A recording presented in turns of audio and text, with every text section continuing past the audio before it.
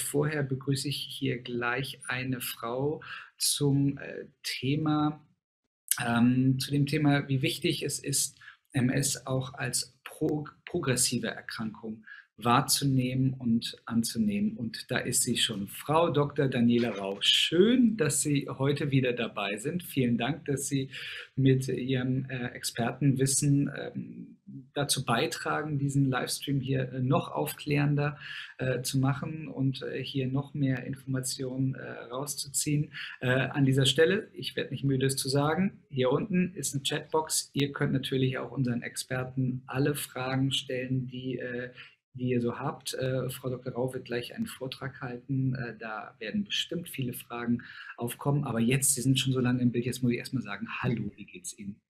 Hallo, Herr Carpenter. Schön, Sie zu sehen und schön auch natürlich ein herzliches Hallo an alle, sage ich jetzt mal, Zuhörerinnen und Zuhörer da draußen, die sich heute eingewählt haben.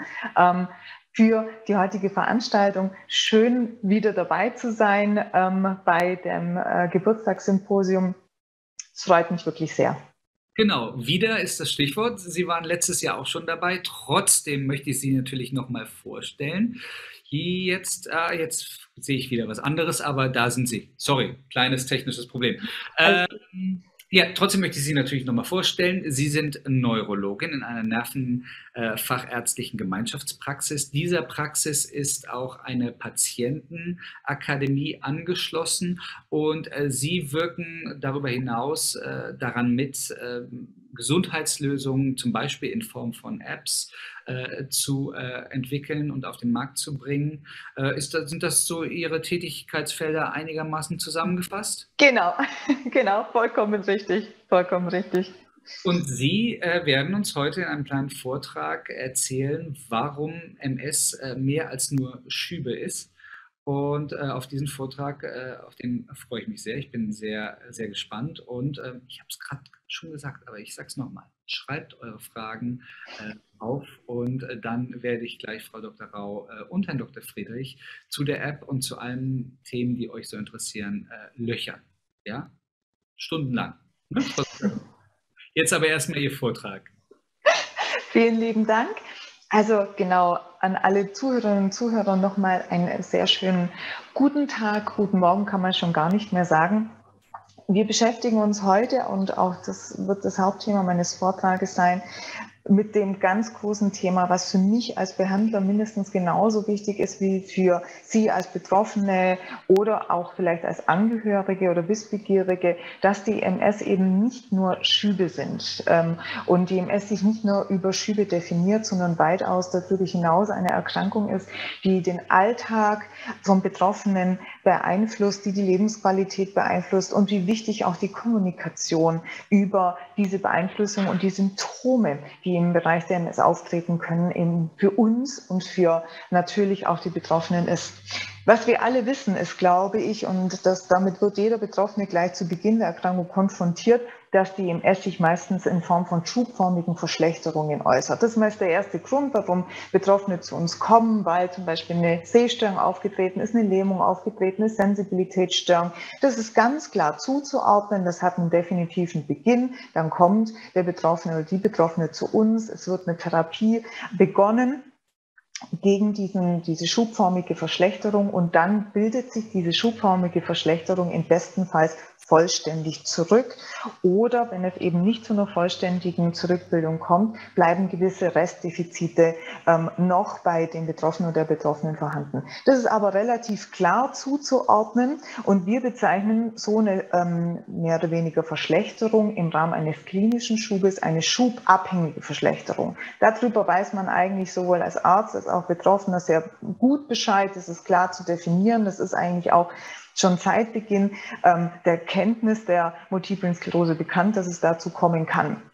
Was aber darüber hinausgehend eigentlich viel wichtiger ist, weil es viel schwieriger zu identifizieren ist. Und das ist eine Entwicklung, die hat in den letzten Jahren deutlich mehr zugenommen, auch in, in das Verständnis sowohl der Patienten, wobei die das eigentlich eigentlich schon vor uns Ärzten mussten, wenn man da ganz klar mal darüber Auskunft geben möchte, bei uns Ärzten erst in den letzten Jahren wirklich in das Bewusstsein gekommen ist, dass es auch zwischen diese, diesen Schüben, diesen klinisch klar definierten Zuständen eine Verschlechterung geben kann nicht geben muss, aber geben kann, die der Patient im Alltag merkt, die eben aber nicht so klar definierbar ist. Also hier entsteht ein Schub und dann habe ich irgendetwas, ein Symptom, was ich behandeln kann und es geht dann wieder weg, sondern ich habe unter Umständen ein klinisches Symptom, ohne dass das so einen klar definierbaren Beginn hat, das mich aber im Alltag stört, das mich zum Teil auch mehr stört, wie wirklich dieses Symptom, was im Rahmen des Schubes da war, das meine Lebensqualität mehr beeinträchtigt. Aber das ist eben nicht so klar abgrenzbar. Da weiß man nicht ganz genau, wann das begonnen hat, sondern das hat sich im Verlauf der Erkrankung so eingeschlichen. Und was ganz wichtig ist, ist, dass diese, sage ich jetzt mal, ähm, äh, Schubaktivität, die unabhängig oder beziehungsweise eine Verschlechterung, die unabhängig von Schieben stattfindet, dass die nicht erst am Schluss der Erkrankung, also sehr weit hinten im Erkrankungsverlauf da ist, sondern das beginnt schon relativ weit vorne. Das heißt, das, da kann ein Patient zu einem Arzt kommen, der hat nur einen Schub gehabt, hat aber schon so eine Verschlechterung. Und das ist ganz, ganz wichtig zu wissen. Das ist kein Spätsymptom, sondern das ist etwas, was schon sehr früh im Erkrankungsverlauf eintreten kann und schon bereits nach unmittelbarer Diagnosestellung. Und das ist wichtig zu wissen und das ist wirklich ein Erkenntnisgewinn der letzten Jahre, ähm, die uns eigentlich auch Mediziner nochmal ganz wichtig ist, im Kopf zu behalten. Wenn man dann sich wirklich mit dem mal auseinandersetzt, was Patienten, wenn man sie ganz klar befragt, was sind denn so ähm, Symptome, die einen beeinträchtigen im Alltag, dann findet man eigentlich nicht wirklich häufig ein Patient oder großes Patientengut, die ein und das gleiche Symptom nennen. Der eine Patient wird sagen, mich beeinträchtigt meine Blasenstörung. Der andere Patient wird sagen, meine Spastik ist für mich das Hauptsymptom. Der andere sagt, es ist meine Fatigue, meine Müdigkeit. Und das ist ganz, ganz wichtig, dass man sich das nochmal vor Augen führt. DMS ist keine Erkrankung, die bei jedem Patienten die gleichen Symptome auch hervorruft, die den Patienten im Alltag beeinträchtigen. Das kann für jeden Patienten individuell was komplett anderes sein. Und das ist ganz wichtig, dass das sowohl der Patient weiß, aber auch der Arzt. Denn das macht wirklich die Behandlung der multiplen Sklerose im Alltag manchmal gar nicht so einfach und definiert aber auch ein ganz unterschiedliches Verständnis von Lebensqualität auf Seiten der oder des Betroffenen bzw. der Betroffenen. Und was, worauf ich ganz stolz bin, ist, dass diese, diese Erkenntnis nun zunehmend auch Einfluss in unsere klinische Forschung ähm, nimmt. Also das heißt, Sie sehen hier mal nochmal ein ganz neu ähm, herausgekommenes, jetzt erst diesen Jahr im Juli veröffentlichtes Forschungspapier, ein sogenanntes Paper, wo sich mehr oder weniger eine Forschungsgruppe mal zusammengesetzt hat und versucht hat, anhand von Patientenangaben herauszufiltern, gut, was beeinflusst denn überhaupt die Lebensqualität auf Patientenseite, was sind es für Faktoren und was sind so die Hauptfaktoren, wo Patienten sagen, Menschenskinder, dadurch ist wirklich meine Lebensqualität maßgeblich beeinträchtigt. Und was ganz wichtig ist, es ist nicht nur ein Faktor, der die Lebensqualität beeinflusst, was Sie hier rechts oben sehen, sondern es ist ein Zusammenspiel aus verschiedenen Dingen. Natürlich ist es prinzipiell erstmal eine bestehende Behinderung, die durch die MS hervorgerufen wird, also ein sogenannter klinischer Faktor, eine Lähmung von dem Arm oder zum Beispiel eine bestehende Sensibilitätsstörung. Diese Behinderung führt zu Symptomen und zu Funktionseinschränkungen. Das ist wichtig. Also der Gesundheitszustand definiert natürlich schon, wie ich meine Lebensqualität wahrnehme. Und das ist der nächste ganz springende und wichtige Punkt, nämlich die Wahrnehmung dieser Behinderung. Jeder, jedes einzelne Individuum nimmt eine bestehende Einschränkung unterschiedlich wahr, bewertet die unterschiedlich und, äh, ja, wie soll ich sagen, sagt auch eine unterschiedliche Wichtung dieser einzelnen Behinderung und Einschränkung zu. Und dann sind da natürlich noch Faktoren, die von außen auf uns zukommen. Stress auf Arbeit, in der Familie, Umweltfaktoren, Hitze, wie wir vorher von der Lea gehört haben. Ne? Also, also zum Beispiel auch Erkältungen, Infektionen. All das beeinflusst unsere Wahrnehmung des Gesundheitszustandes und auch unsere bestehende Behinderung. Und das definiert das Vorliegen von Lebensqualität. Und dann hat man wirklich nochmal geschaut, okay, jetzt hat man mehr oder weniger diese Beeinflussungsfaktoren mal analysiert anhand der Angaben der Patienten. Und was sind da so die wichtigen Beeinflussungsfaktoren? Und man muss ganz klar sagen, und das kommt hier an diesem Schaubild nochmal heraus, ein ganz wesentlicher Punkt ist die Fatigue. Also bei Patienten ist wirklich das ein entscheidender Punkt, wie sie die Müdigkeit sowohl körperlich als auch kognitiv im Alltag wahrnehmen. Dann natürlich auch die Behinderung an sich und die Wahrnehmung Wahrnehmung der Selbsteffizienz. Also was kann ich selber dagegen tun, dass es mir besser geht. Aber ein ganz entscheidender Faktor ist bei Befragung von Patienten die Fatigue in der Lebensqualität. Und da hat man, hat man dann wirklich mal geschaut, okay, wie sieht denn das wirklich bei unseren MS-Patienten aus? Und da möchte ich Ihnen mal so ein Register, äh, so ein paar Registerdaten ähm, darstellen. Das ist vom Jahr 2018. Das ist ein großes MS-Register in Deutschland. Das sind 21.000 MS-Patienten geführt, die einen unterschiedlichen MS-Verlauf haben, also sowohl schubförmige Verläufe, dann aber auch äh, Verläufe im Verlauf der Erkrankung mit einer sekundären Behinderung und die eher schwerwiegenden Verläufe, die von Anfang an schon chronische Behinderungen haben.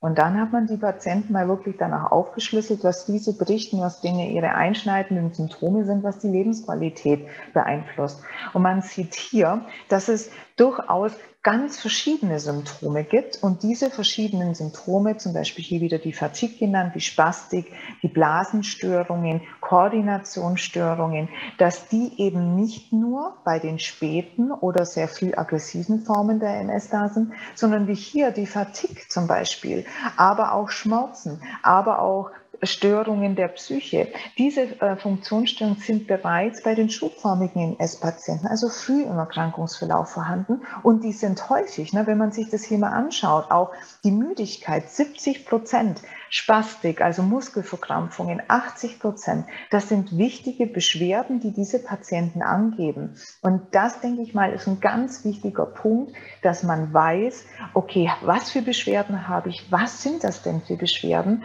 Und auch, dass diese Beschwerden nicht erst, wenn ich 20 Jahre krank bin, auftreten können, sondern früh im Erkrankungsverlauf. Warum ist es auch noch wichtig? Nicht nur wegen der Lebensqualität, sondern auch Stichwort Berufsfähigkeit.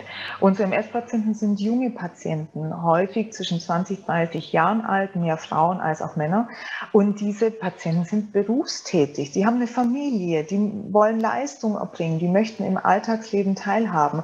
Und gerade Symptome wie Fatigue, oder auch Stimmungsschwankungen, also Stichwort Depressionen, kognitive Störungen, gerade was das Kurzzeitgedächtnis anbelangt, die häufig vorkommen. Hier sehen Sie nochmal die Häufigkeit angegeben in Prozent. Die beeinflussen nicht nur die Lebensqualität, sondern auch, wie ich so im Alltag dastehe, wie ich meinen Alltag bewältigen kann, wie ich auch im Berufs- und Arbeitsleben stehe. Und dann sind natürlich dann noch Modulationsfaktoren wie Stress, vielleicht auch die Medikation, die ich gegen meine MS einnehmen muss, so Faktoren, die von außen auf dieses Konglomerat mit drauf treffen und die auch hier zum Teil nicht nur einen positiven, sondern negativen Impact nennen wir das, also Einfluss darauf einnehmen.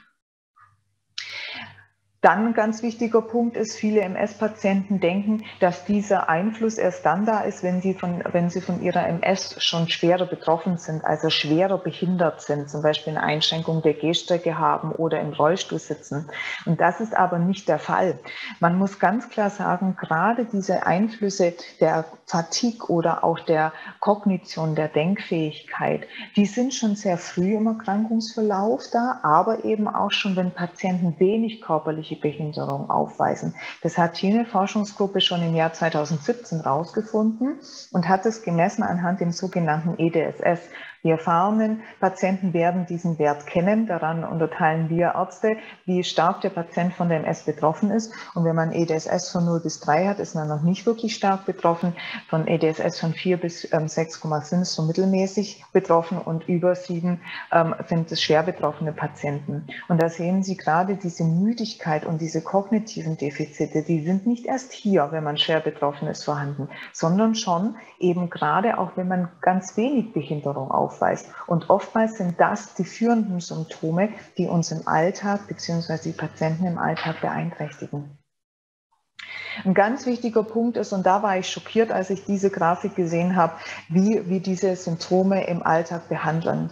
Und da sehen sich hier mal aufgezeichnet, wie viel von diesen Symptomen, die die äh, Patienten uns berichten, wie behandelt werden. Und dieser graue Balken hier unten heißt, dass die Symptome gar nicht behandelt werden. wenn man sich jetzt das mal anschaut, Fatigue 70 Prozent, 60, 70 Prozent gar nicht behandelt, zum Beispiel auch Denkstörungen bis zu 70 Prozent gar nicht behandelt, dann Störungen auch der Sexualfunktion, die man nie außer Acht nehmen äh, lassen darf, was auch beeinträchtigt eine Lebensqualität, 70 Prozent gar nicht behandelt. Das heißt, wir sind hier wirklich hinten dran in der Behandlung dieser Symptome, die die Lebensqualität unserer MS-Patienten maßgeblich mit definieren. Und ich fand das richtig erschreckend, als ich diese äh, Grafik gesehen habe und nochmal zu betonen, das ist eine Grafik von 2018, also das ist nicht von 1990, sondern das ist relativ aktuell. Und das hat mich als Arzt doch durchaus schockiert. Und habe ich mir mal die Frage gestellt, warum ist denn das überhaupt so? Ja, also was können denn die Gründe dafür sein, dass auch diese Symptome so schlecht behandelt sind oder dass die Patienten das so schlecht behandelt äh, wahrnehmen? Und ein großer Punkt ist natürlich für mich auch, ähm, ich denke mal, wir müssen auch in der Interaktion Arzt- und Patientenseite immer wieder betonen, dass die MS solche Symptome oder vielfältige Symptome machen kann. Weil oftmals kann es so einfach sein, dass der Patient vielleicht gar nicht weiß, dass die Symptome, die ihn beeinträchtigen, durch die MS mit hervorgerufen sein könnten. Dass die, dass die Symptome auch seine Lebensqualität durchaus verschlechtern oder vielleicht bei einer Behandlung verbessern können dass es auch unsichtbare Symptome gibt, wie gerade die Fatigue oder die kognitiven Defizite. Also, dass man im Alltag auf einmal nicht mehr so gut flüssig in der Sprache ist, Wortfindungsstörungen hat, dass das durch die MS kommen kann und jetzt nicht Zeichen zum Beispiel einer beginnenden Demenz oder sowas sein kann. Also oftmals sind es auch ein, ein, ein fehlendes Verständnis und ich denke mal, Darüber müssen wir sprechen, darüber müssen wir Ärzte aufklären und immer im Gespräch mit unseren Patienten sein. Dann natürlich auch ganz wichtig, dass man sich nicht schämt, solche Sachen anzusprechen. Ich habe ganz viele junge Patientinnen, die mir erst Jahre später sagen, dass sie mit der, mit der Blasenfrequenz, also mit dem Wasserlassen, ein enormes Problem hatten, sich aber nicht getraut haben, das als 22-Jährige vor ihrem Arzt anzusprechen. Auch das ist ganz wichtig. Bitte haben Sie keine Scheu, solche Symptome in der Kommunikation mit Ihrem Arzt anzusprechen, wenn dadurch Ihre Lebensqualität beeinträchtigt ist. Und auch gerade Verschlechterungen in diesen Bereichen anzusprechen. Denn auch Ihr Arzt muss wissen, dass Sie denn entsprechende Symptome haben, weil wir ansonsten nicht symptomatisch verbessern können. Ein weiterer wichtiger Punkt ist, der es schwierig auch macht im Umgang mit den Beschwerden, weil wir Probleme unter Umständen noch haben, diese Beschwerden wirklich zu erfassen. Die Lea hat gerade vorher ein Tool vorgestellt, auf das ich nachher eingehen möchte, was ich sehr, sehr wichtig finde. Denn bisher hatten wir da kein wirkliches Tool, das wir den Patienten auch an die Hand geben können. Wir hatten natürlich unsere klinischen Verlaufskontrollen, wo wir stichpunktartig und punktuell Beschwerden erfassen konnten. Aber wir konnten diese Beschwerden nicht im Zeitverlauf erfassen. Die waren abhängig davon, dass Sie als Betroffene bei uns ähm, in der Praxis oder in der Klinik aufgeschlagen sind und wurden dementsprechend vielleicht auch symptomatisch durch diesen, diesen einen Vorstellungszeitpunkt verzerrt. Das macht natürlich auch schwierig zu sagen, was sind das für Symptome, wie haben die sich entwickelt. Und dann ist natürlich auch noch so, dass es unterschiedliche therapeutische Möglichkeiten für die Beschwerden gibt. Manchmal gibt es ein Medikament, was man einsetzen kann. Manchmal müssen mehrere Dinge parallel gleichzeitig erfolgen, um überhaupt das Symptom angehen zu können. Und auch das spielt manchmal so einen Hinderungsgrund dar, dass eben diese Beschwerden nicht wirklich suffizient und zufriedenstellend für den jeweiligen Betroffenen eingestellt werden können.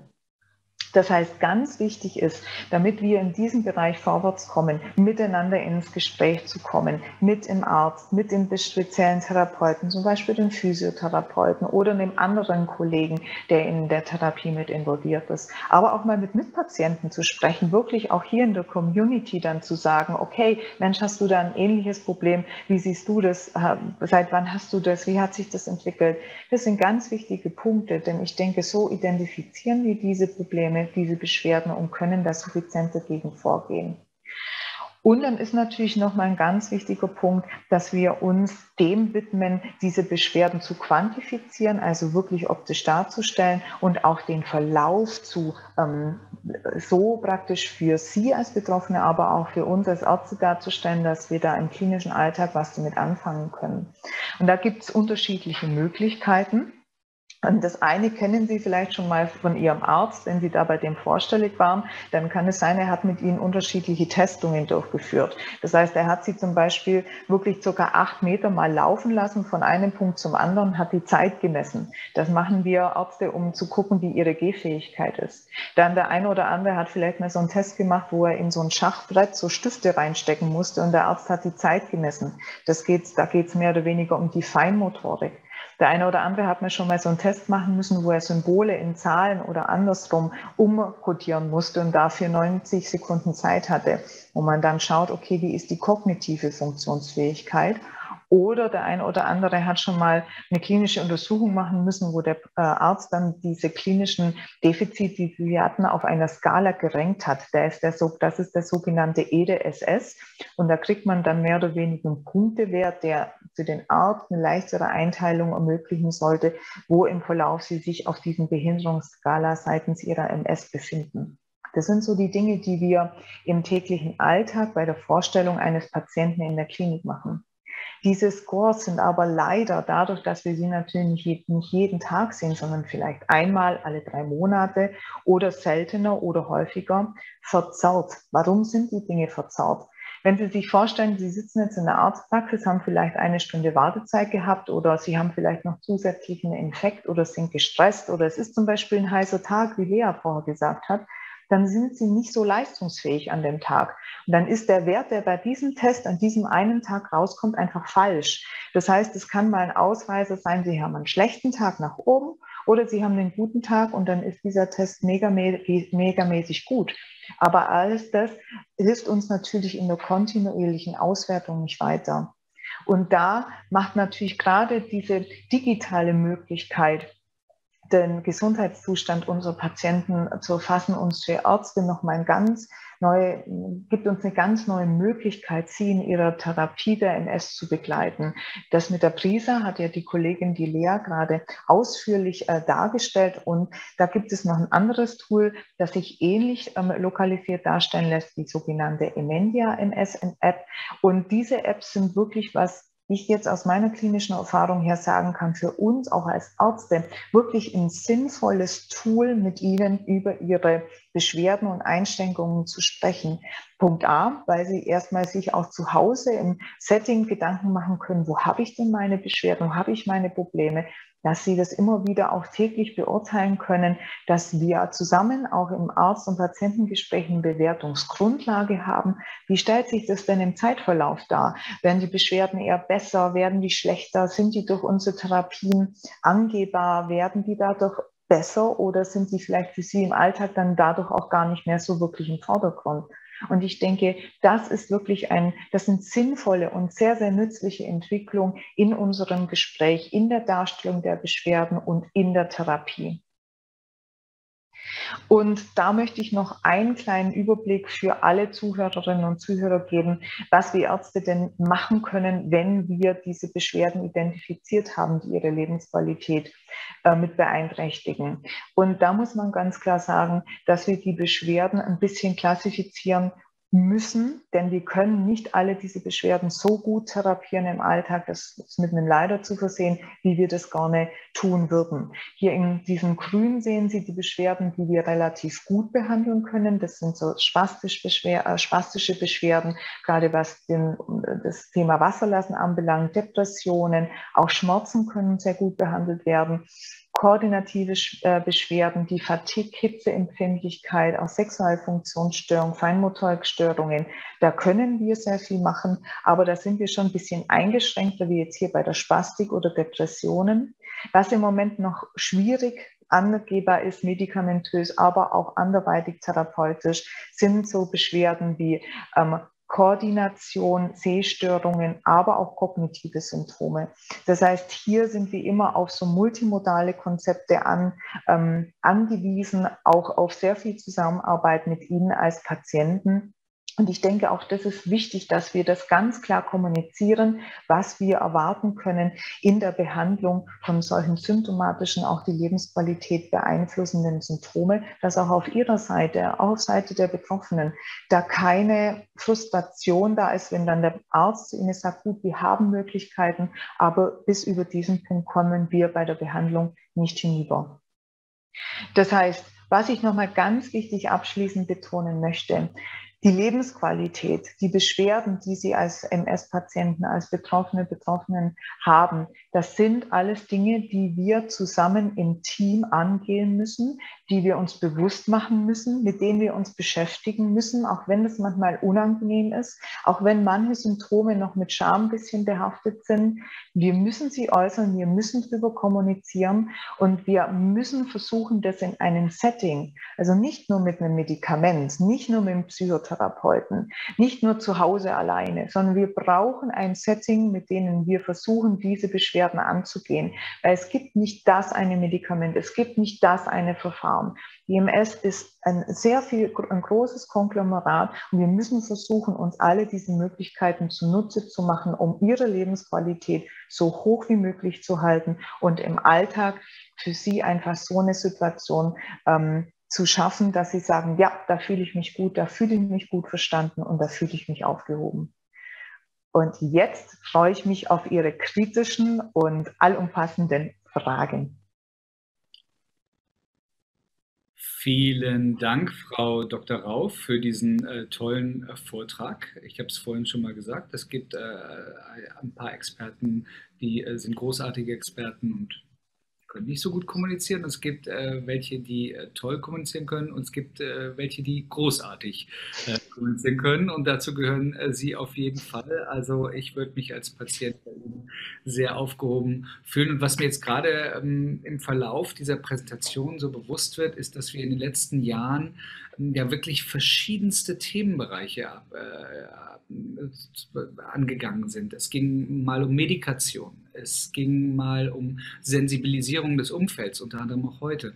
Und, und, und jetzt, ähm, nicht zuletzt, aufgrund solcher digitaler Wegbegleiter, die Sie auch vorgestellt haben, Brisa und Emendia, ähm, ermöglichen wir Information. Ne? Information für den Patienten selbst, für den Betroffenen selbst, aber auch für Sie. Und deswegen, weil das so ein wichtiges Thema ist, äh, ähm, möchte ich da natürlich gleich in einer Fragerunde weiter drauf äh, eingehen mit Ihnen, aber getreu dem Motto, trotz MS verbindet.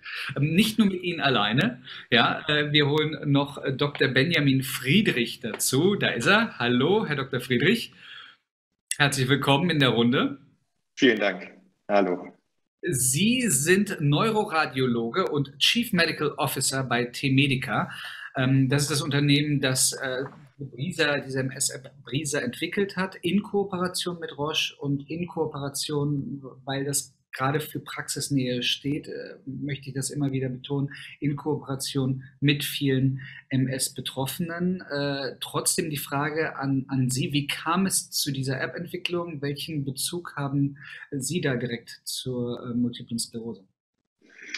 Ja, also die Multiple Sklerose als Erkrankung begleitet mich tatsächlich schon mein ganzes Leben. Ähm, meine Großmutter wurde in meinem Geburtsjahr ähm, diagnostiziert an Multiple Sklerose. Und ich habe es bis zu ihrem Tod vor knapp 20 Jahren quasi einzelne Phasen dieser Erkrankung immer miterlebt. Gute Tage, schlechte Tage. Ich habe mich dann, ähm, als ich angefangen habe, Medizin zu studieren, immer sehr intensiv mit Neurowissenschaften und Erkrankungen des Nervensystems auseinandergesetzt und auch in meiner späteren beruflichen Laufbahn ähm, als, als Neuroradiologe, zuletzt an der Uni in München, hatte ich täglich mit, mit Menschen mit MS zu tun. Also insofern ist die MS ähm, etwas, was mich, was mich von, ja, ähm, von Geburt an quasi begleitet. Als ähm, ich mich dann angefangen habe, zunehmend mit Digitalisierung, Apps, Gesundheits-Apps auseinanderzusetzen, war aufgrund meiner Geschichte natürlich immer die MS präsent und war immer ein Thema, wo ich gesagt habe, ich möchte hier ähm, einen, einen Mehrwert für die, für die Patientinnen, für die Patienten, für die Betroffenen mit so einer App liefern. Mhm. Ähm, das war jetzt aber so, dass T-Medica seit 2016 existiert, gegründet wurde von Gloria Seibert, unserer, unserer CEO und, und Gründerin. Ähm, und wir haben zunächst angefangen, ähm, Apps für an, ganz andere ähm, Erkrankungsbereiche zu entwickeln, die eher einfacher sind. Dinge wie Blasenschwäche oder Rückenschmerz oder Diabetes. Aber nach diesen Lernerfahrungen haben wir uns dann so weit gefühlt, dass wir wirklich gesagt haben, okay, jetzt greifen wir an, ähm, jetzt entwickeln wir etwas für ähm, Menschen mit MS, ähm, mit all den Erfahrungen, all den ähm, Lernerfahrungen, die wir über die Jahre gemacht haben. Ich ähm, möchte jetzt mit Ihnen beiden ausgiebig über dieses Thema äh, sprechen und versuche äh, das so in, in, in zwei äh, Sichtweisen zu unterteilen. Erstmal wirklich äh, komplett aus Sichtweise um äh, des Patienten, um den es natürlich geht, äh, des Betroffenen. Und dann komme ich natürlich dazu, wie Ihnen solche Möglichkeiten helfen, die dann natürlich dann wiederum dann auch wieder den Patienten helfen. Frau Dr. Rau, welche Rolle spielt es, dass der Patient oder die Patientin auch zwischen den Behandlungsterminen mit Ihnen äh, sich mit den eigenen Symptomen äh, beschäftigt und äh, dort vielleicht Zusammenhänge der Symptome erkennt? Also für mich als Arzt eine sehr, sehr wichtige Rolle, weil auf der einen Seite natürlich der Patient dadurch auch sehr aktiv seine Lebensqualität mit selber erstens mal definiert, aber auch beeinflussen kann. Denn wenn er weiß, was für Beschwerden er hat, formuliert er mir die gegenüber. Wir können symptomatisch dagegen vorgehen, wir können Therapien ausbauen, wir können versuchen im Alltag praktisch die Funktionalität zu erhöhen, auch sein eigenes Wohlbefinden zu erhöhen und dann dementsprechend die therapeutischen Möglichkeiten anpassen, wenn es nicht funktionieren sollte. Auf der anderen Seite ist aber auch so, dass wir natürlich unsere prophylaktische Medikation, also die Medikamente, die wir nicht nur gegen die Symptome einsetzen, sondern auch, dass die MS im Verlauf nicht schlimmer wird, anpassen müssen. Wenn jetzt neue Symptome zum Beispiel, also der Patient sagt jetzt, okay, bis da und da habe ich die und die Beschwerden gehabt und jetzt auf einmal merke ich, dass das Gehen nicht mehr so funktioniert, obwohl ich jetzt zum Beispiel keinen Schub hatte. Ja, und das ist natürlich wichtig auch für uns, weil wir merken, okay, da passiert etwas. Dann müssen wir schauen, hat es mit der MS zu tun oder hat es mit anderen Erkrankungen zu tun? Und dann müssen wir nicht nur die Physiotherapie oder irgendein Medikament erhöhen, sondern müssen uns immer dann die Frage stellen, geht denn die Erkrankung auch weiter? Das heißt, je mehr Überblick der Patient über sich selber hat, je mehr Selbstmanagement, desto besser funktioniert das mit in der Interaktion mit dem Arzt und wir wissen, wie wir das Ganze besser anpacken können. Von dem her, ähm, wenn, Sie mir, wenn Sie mich fragen, wie wichtig, sehr, sehr wichtig. Jetzt werden Sie das bei der Dokumentation oft feststellen. Ähm, Patienten wollen sich ja auch zwischen den Behandlungsterminen vielleicht gar nicht damit auseinandersetzen. Vielleicht äh, insbesondere manchmal an guten Tagen. Sie haben eben von guten und von schlechten Tagen gesprochen. Ähm, warum, also unabhängig jetzt von, den, von dem Termin bei Ihnen, warum äh, könnte das für einen Patienten im Alltag wirklich wichtig sein, sich jetzt hinzusetzen und jetzt ähm, sich mit seinen Symptomen, auch wenn er symptomfrei ist gerade oder wenn es reduzierte Symptome sind, warum ist, kann das im Alltag äh, wichtig sein? Können Sie verstehen, dass einige das nicht gern machen? Ja, definitiv. Also ich kann das vollkommen nachvollziehen, weil auch viele Patienten sagen, gut, ich muss mich jetzt in den und dem Bereich genügend mit meiner Erkrankung beschäftigen. Es ist halt, man muss es ganz klar sagen, ich habe vorher auch von sichtbaren und unsichtbaren MS-Beschwerden gesprochen. Und ich glaube, bei den unsichtbaren Beschwerden, das sind meistens die, die wirklich auf, wenn dann die Lebensqualität oder wenn dann für die Patienten einschränkende Situationen die meisten Einflüsse haben. Das sind eher die Beschwerden, die nicht offensichtlich sind, weil die offensichtlichen Beschwerden, das ist, das wird meistens, ist entweder ganz klar, wenn ich den Patienten anschaue oder ist für den Patienten mehr im Vordergrund. Aber die Beschwerden, wie gerade vorher, ähm, Wortfindungsstörungen oder vielleicht auch Miktionsstörungen. Das sind so Beschwerden, die nicht so richtig im Vordergrund stehen. Störungen, jetzt müssen wir kurz abholen. Also das sind praktisch Beschwerden bei der Blasenkontrolle.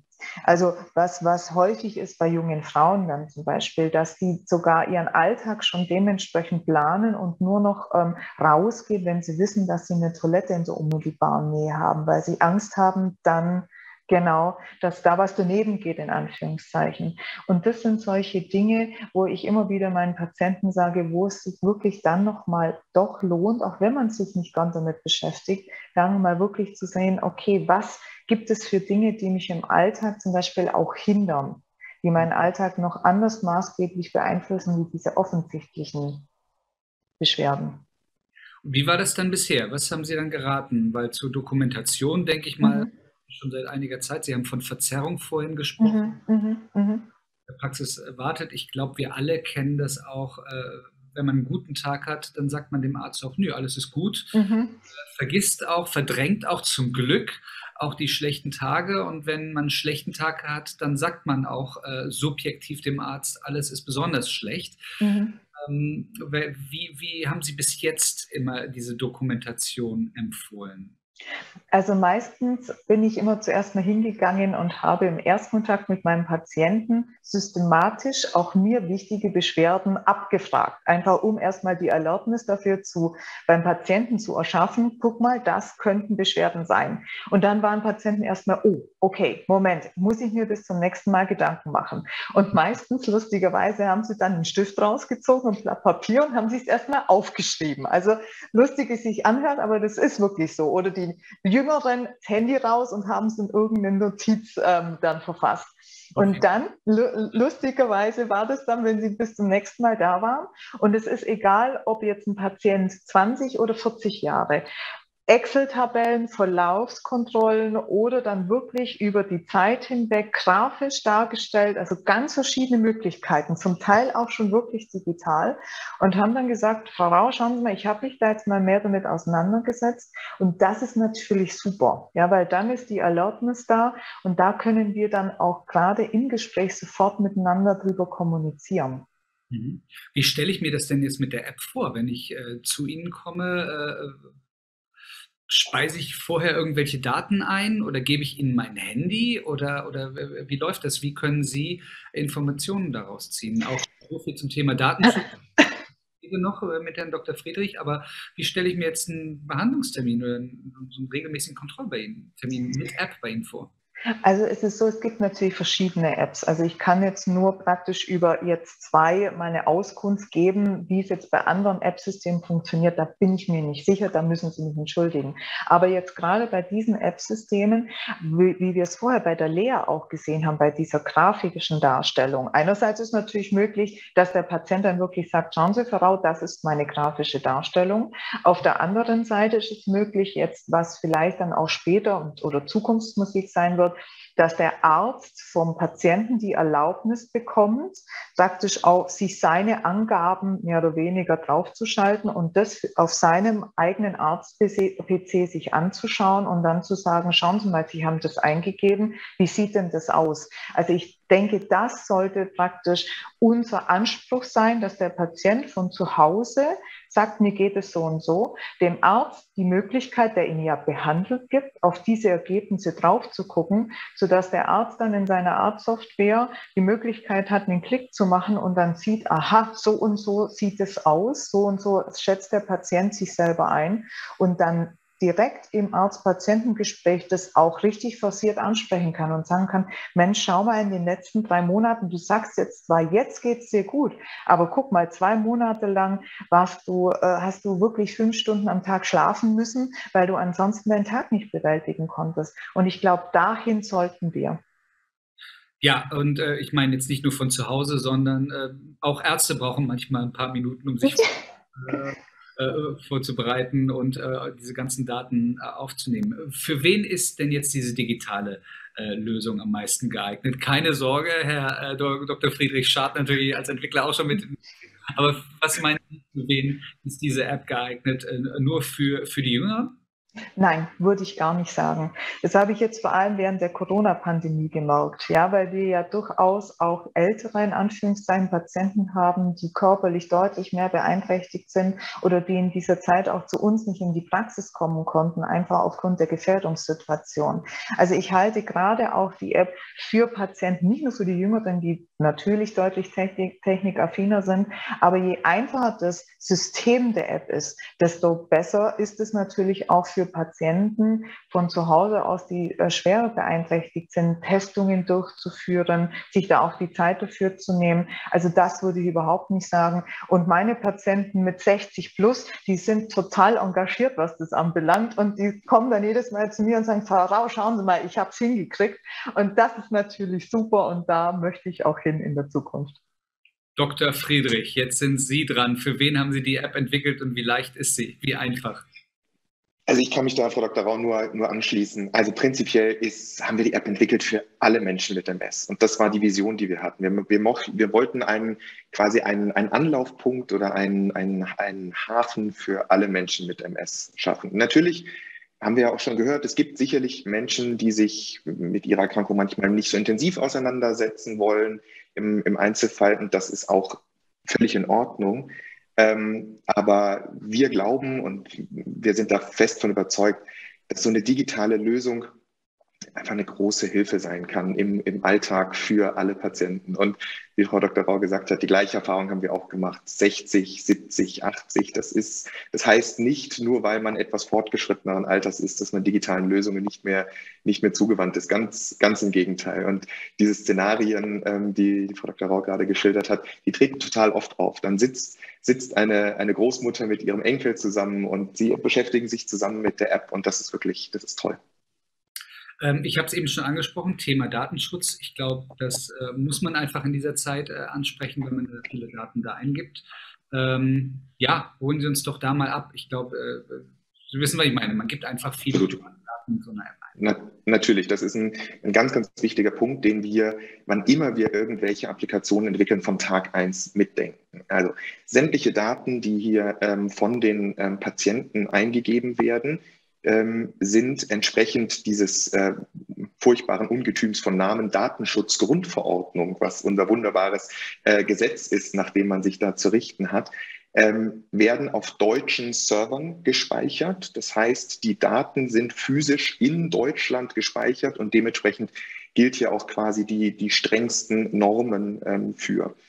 Die, ähm, nur die Patienten haben ausschließlich auf ihre persönlichen Daten Zugriff. Sie können selber entscheiden, ähm, ob Sie diese Daten beispielsweise mit Ihrem Arzt, wie Frau Dr. Rau das gerade ähm, genannt hat, teilen möchten. Ähm, und das alles nur mit Einverständnis des Patienten. Ähm, insofern, der Datenschutz ist von Tag eins eines unserer, unserer wichtigsten Dinge, die wir im Hinterkopf haben. Und, ähm, und, und wie gehen die Patienten dann äh, selbst, äh, wie können die Patienten selbst lernen, mit diesen Daten umzugehen, da auch Rückschlüsse für ihre Erkrankungen und für ihre Lebensqualität rauszuziehen? Ja, das, das ist wirklich der, ein ganz, ganz entscheidender Punkt. Ähm, wie wir gerade ja schon mehrfach gehört haben, die, dadurch, dass Patientinnen und Patienten, Betroffene die Möglichkeit haben, ihre Symptome, ihre individuelle Erkrankung zu dokumentieren, lernen Betroffene, welche Zusammenhänge ihrer individuellen Erkrankung beispielsweise mit äußeren Faktoren, wir haben vorhin gehört, Wetter, bestimmte Ernährungsweisen, bestimmte Stresssituationen entstehen. Und durch das, durch das Verständnis dieser individuellen Erkrankung ähm, werden die Betroffenen in die Lage versetzt, proaktiv ihre Erkrankung in die Hand zu nehmen. Sie sitzen nicht auf dem Beifahrersitz, sondern sie sitzen am Steuer. Und das ist für mich ein, ein ganz entscheidender Patient, äh, ein ganz, ganz entscheidender Punkt. Es gibt dieses neudeutsche Wort des Empowerments, dieses Patienten in die Lage zu versetzen, ihre eigene Krankheit proaktiv mitzugestalten. Und hierfür ist Wissen und Verständnis über die eigene Erkrankung ein ganz, ganz fundamentaler erster Schritt. Trotzdem bleibt ja das, äh, die Herausforderung für Sie, Frau Dr. Rau, und für alle Neurologinnen und Neurologen, äh, aus subjektiven Empfindungen eine, eine Obje ein objektiv bewertbares äh, Ergebnis äh, zu machen. Ähm, wie gelingt Ihnen das und können äh, solche Möglichkeiten äh, dazu beitragen, dass Ihnen das leichter gelingt? Also da gebe ich Ihnen vollkommen recht. Gerade was zum Beispiel so kognitive Einschränkungen, also Probleme jetzt mit dem Denken anbelangt, ist natürlich nochmal die subjektive Einschätzung was komplett anderes, was wir dann auch wirklich objektiv in Testungen sehen können. Prinzipiell sind diese Art Tagebücher der Patienten aber für uns enorm relevant, um zu sehen, da hat der Patient überhaupt ein Problem, da nimmt er ein Problem wahr. Und wir ärztlicherseits wissen natürlich, okay, wo habe ich jetzt einen weiteren objektiven Schritt anzunehmen. Und wenn ich dann sehe, dass der Patient da Probleme angibt, dann mache ich dann Testungen oder, und das wird, denke ich, auch jetzt dann in der Zukunft passieren, dass auch in diesen digitalen Medien unsere Testungen, die wir in der Praxis oder in der Klinik machen, in Form von digitalen Tools für die Patienten zu Hause schon in einer Art objektivierbaren Möglichkeit zur Verfügung stehen werden. Und das ist dann natürlich so auch das Bindeglied für die Zukunft, dass praktisch unsere Testungen, die wir jetzt noch in der Praxis oder in der Klinik vor Ort machen, dass die digital konvertiert werden und unseren Patienten dann für zu Hause schon zur Verfügung stehen. Und dann haben wir schon objektive sozusagen Messergebnisse, wenn der Patient zu uns kommt und können dann anhand von diesen Messergebnissen schon eine Aussage treffen. Und wenn wir dann immer noch Zweifel haben, können wir natürlich dann auch nochmal einen objektiven Test in der Praxis nochmal ergänzen. Ja, aber die Alertness, das ist vor allem das Wichtige, primär schon mal. Ich, ich, ich glaube, wenn ich uns jetzt so zuhören würde, also einerseits würde ich total, kann ich total nachvollziehen, dass das Ganze so ein bisschen äh, äh technisch klingt, wie Apps mhm sind, aber andererseits finde ich es wirklich äh, äh, so großartig und da erinnere ich mich wieder an, was ich vorhin auf der App gesehen habe. Äh, hier morgen zwischen 10 und 12 Uhr scheint keine Sonne, vielleicht mal den Vitamin D-Haushalt auftanken. Das äh, hatte man vorhin kurz bei der Präsentation von Lea gesehen. Äh, es ist zwar in sich technisch, weil es ja natürlich eine digitale Anwendung ist, aber wie man jetzt auch hier sieht, wir sind ja auch eigentlich, trotzdem es ist ja eigentlich auch digital und technisch, aber ist äh, hoch emotional und äh, hat eine hoch emotionale Bindung und äh, hat auch hochemotionale Auswirkungen. Und deswegen an euch bitte nochmal die, äh, die, die, die, die Bitte, äh, gleich hier eure Fragen, ob jetzt zur App oder wozu auch immer, eure Fragen in die äh, Chatbox äh, zu stellen oder zu schreiben. Denn Frau Dr. Rau und Herr Dr. Friedrich wollen natürlich nicht nur meine Fragen beantworten, sondern vor allem natürlich eure. Wir waren gerade beim Thema Zukunft. Äh, Dr. Friedrich, was äh, ist denn die Zukunft? Was wird da alles möglich sein? ich habe vorhin gesagt, äh, die App ist ja quasi eigentlich jetzt live in der Entwicklung. Ja? Ähm, und da wird ja sicher eine Menge äh, passieren bzw. geplant sein. Absolut. Ein, das, das Tolle an digitalen Produkten ist, sie sind nie fertig. Ähm, es geht immer weiter. Und wir stehen, wir standen in der Entwicklung und stehen in der Weiterentwicklung kontinuierlich im Austausch mit, mit ganz vielen ähm, MS-Betroffenen aus der Community. Und großes Dankeschön nochmal auch an alle da draußen, die uns bislang geholfen haben und ähm, ihren ganzen Input auch in, uns in Zukunft geben werden, um eine noch, noch bessere App zu entwickeln. Ähm, es kommen ganz, ganz viele spannende Sachen. Frau Dr. Rau hat gerade eben schon mal das Thema Subjektivität, Objektivität angesprochen. Wir erheben ja die ähm, Symptome ähm, der Betroffenen von, ähm, von MS in der Applikation schon heute mit Hilfe sogenannter validierter medizinischer Fragebögen. Das heißt, das sind schon Daten höchster Qualität, die sozusagen wissenschaftlichen Ansprüchen ähm, genügen dieses Thema objektive Testung von beispielsweise motorischen oder kognitiven Fähigkeiten, ähm, was Frau Dr. Rau angesprochen hat, ist etwas, was wir gerade dabei sind, in die Applikation zu implementieren und was ganz, ganz bald live gehen wird. Wir sind demnächst ein zertifiziertes Medizinprodukt, was nochmal wirklich auch nochmal deutlich macht, was wir da für einen Qualitätsanspruch dem ähm, zugrunde liegen. In der nächsten Zeit werden Funktionen zum Medikamententracking kommen, Reminder-Funktionen, was die Therapie äh, anbelangt.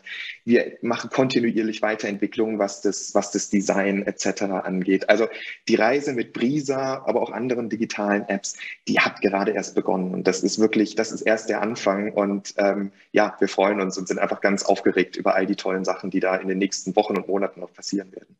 Das äh, sind wir auf jeden Fall. Und jetzt möchte ich natürlich auch zu den Community-Fragen äh, kommen. Und äh, da fragt Benjamin gleich als erstes, äh, Frau Dr. Rau, was sind Schübe?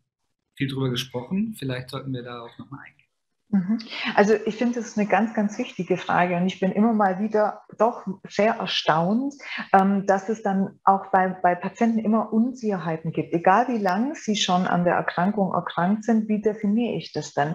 Und man kann es wirklich so sehen, ähm, lieber Benjamin, wenn Sie ein neu aufgetretenes Symptom haben, was Sie bisher noch nicht kannten, oder ein altes Symptom, was Sie schon kennen, verschlechtert sich akut.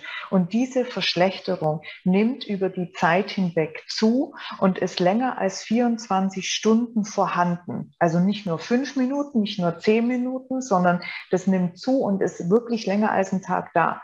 Dann verstehen Sie hierunter einen Schub und kontaktieren Ihren Neurologen oder Ihre Neurologin des Vertrauens, was man tun soll.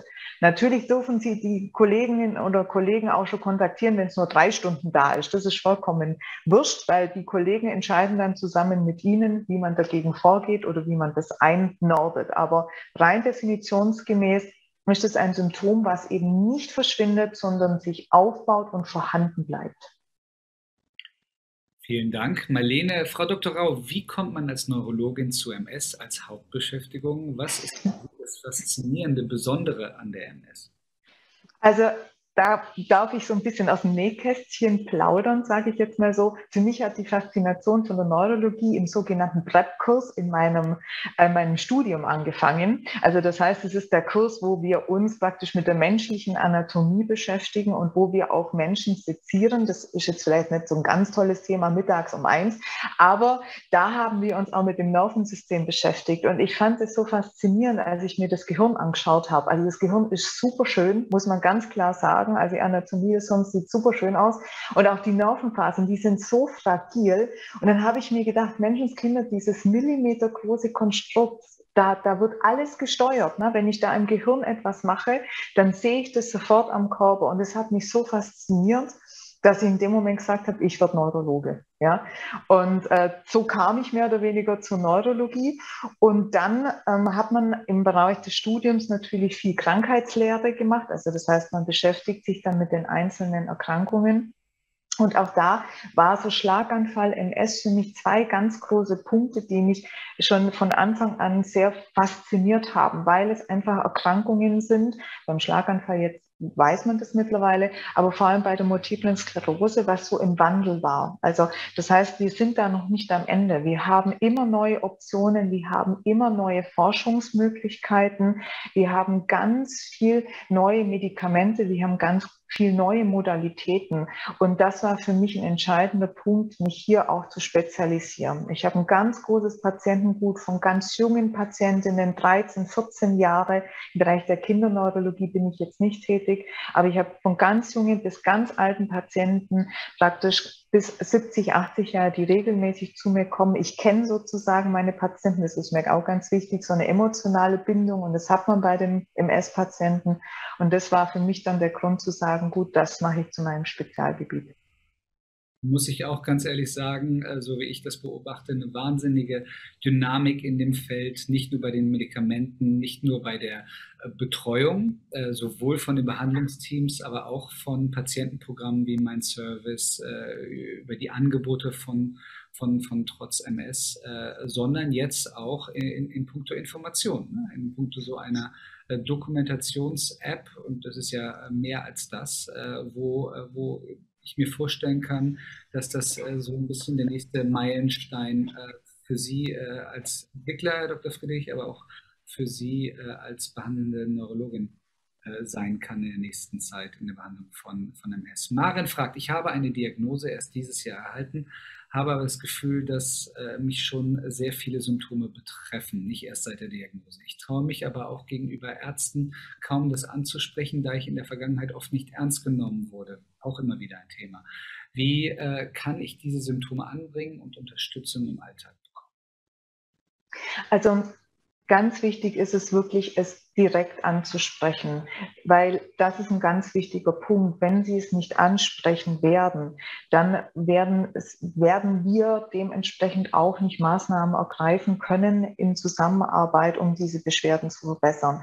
Ganz klar ist natürlich erstmal Beschwerden zu identifizieren, aber das habe ich jetzt so wahrgenommen, dass da jetzt schon eine Alertness da ist, zu sagen, okay, diese Beschwerden ähm, herauszuarbeiten, auch für sich mal versuchen darzustellen, ganz einfach vielleicht eine Skala von von 0 bis 10, wie stark beeinträchtigen mich die Beschwerden, sehe ich schon Zusammenhänge zu bestimmten Punkten. Und dann ganz wichtig, sich nicht zu scheuen, keine Scham zu empfinden, auch wenn es manchmal Beschwerden sind, die man vielleicht nicht gerne anspricht, aber dafür ist der Doktor da oder die Ärztin, vollkommen wurscht, ja, weil wir sind dafür da, uns mit ihnen zu unterhalten. Und wenn er das nicht tut, dann würde ich da nochmal einen Dampf reinlassen und sagen, das ist mir aber wichtig. Und wenn das dann nicht funktioniert, dann muss man schon überlegen, einfach auch als Patient, okay, kann ich zusammen mit diesem Arzt den Weg gehen? Weil da bin ich ganz ehrlich, dann hat man kein gutes Verhältnis. Und dann werden Sie in dieser Beziehung auch für die weitere Behandlung Ihrer NS nicht glücklich.